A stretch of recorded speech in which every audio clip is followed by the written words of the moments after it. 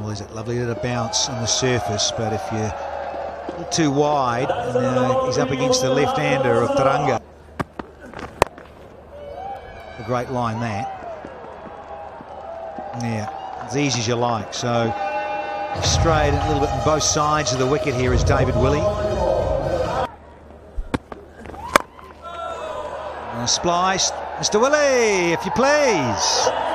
Nice little C and B.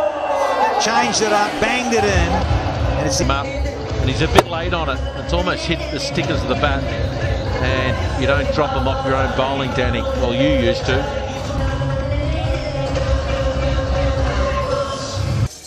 And he can go. Shafiqullah.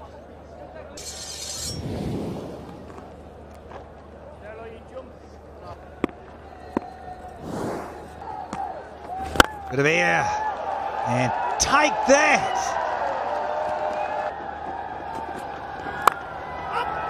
Oh, nicked away. Here come back in the old days in another time in another format may well have had a slip there. Through the gap. Managed to thread the needle there. Upul Tharanga.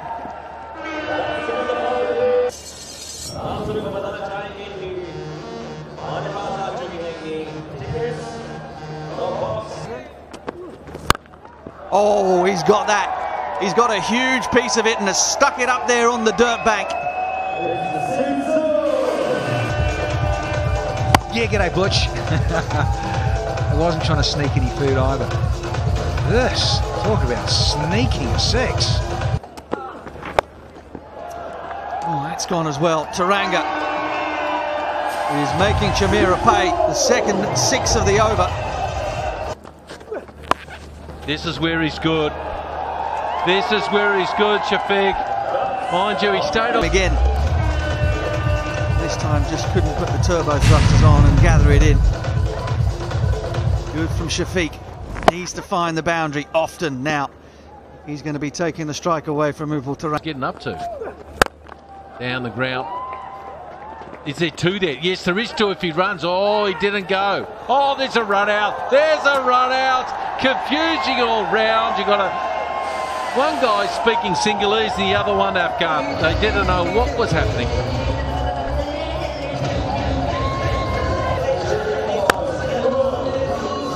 Farouk Tharanga. He's been absolutely barbecued here. To be fair to Shafiqullah, Tharanga never looked at him, didn't look up once, just got his head.